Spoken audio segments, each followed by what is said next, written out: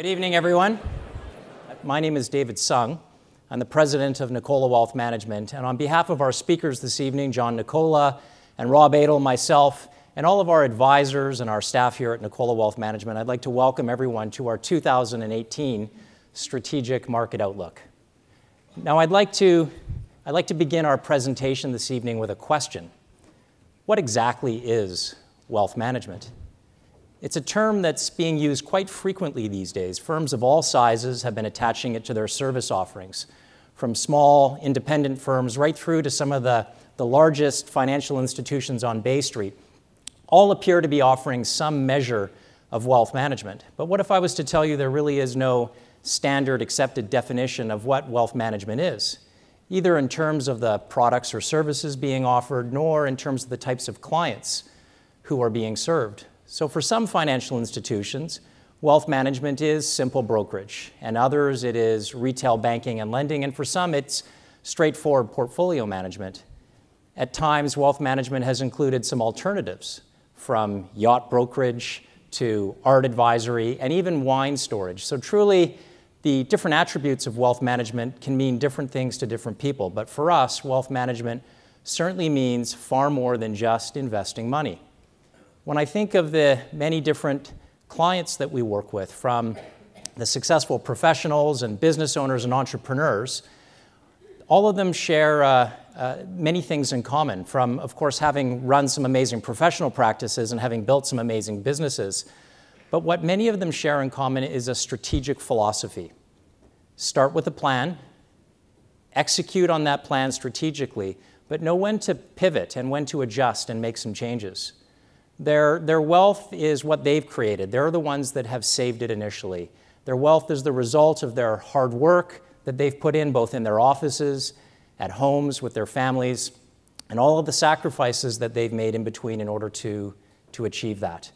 But while our clients definitely have a lot in common, each of our clients is unique. And that is why our philosophy towards wealth management is one in which we're constantly in the pursuit of trying to find that right mix, that right blend of not only the, the science, but the art of advising our clients on building and protecting that wealth so that they can leave lasting legacies for not only their families, but for their communities and the various philanthropic causes that they care about. It's, we're, we're certainly proud of, of the work that we do with our clients, but it's also why I believe it's been our planning process that has resulted in us becoming one of Canada's fastest growing investment management firms. But that is also why I think it's important that we continue to remind ourselves that we did not start out as an investment management firm. Indeed, our, our history and our roots is first that of being a financial planning firm, an estate planning firm, an advisory firm. And it's, um, it, it's I think, the, that type of approach that has um, helped us to both guide clients and, and help them go down the right path towards, towards planning. And, and I guess the analogy that I'd like to use is one of architect and builder. When any of you are looking to build a home, and when you're looking to build anything that is a lasting structure, an architect first picks up a pencil before the builder swings the hammer. And likewise, our approach to family wealth management is one in which we, as financial advisors, we first pick up pencils to draft financial plans before, as portfolio managers, we pick or make any investment.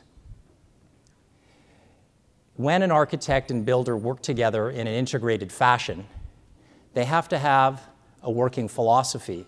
And as many of you here who are clients knows, our philosophy on investment management is one in which we have a platform of extensive diversification and defensive cash flow investing. Typical asset allocation is often defined as a portfolio that's invested 60% into the public equity markets and 40% into the public fixed income markets.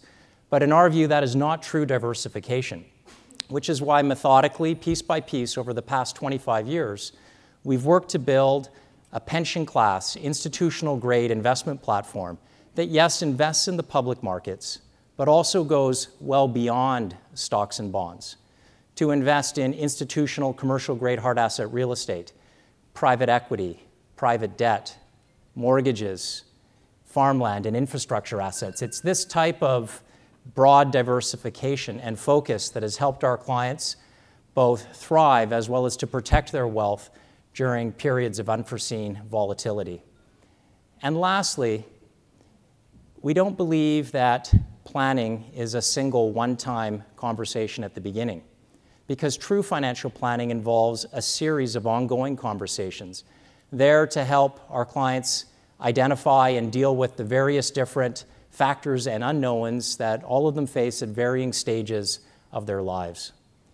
So, tonight's presentation, or should I say tonight's conversation, is going to focus on the road ahead as our speakers, John and Rob, look to identify for you various obstacles as well as opportunities that we believe are both important and absolutely worth paying attention to.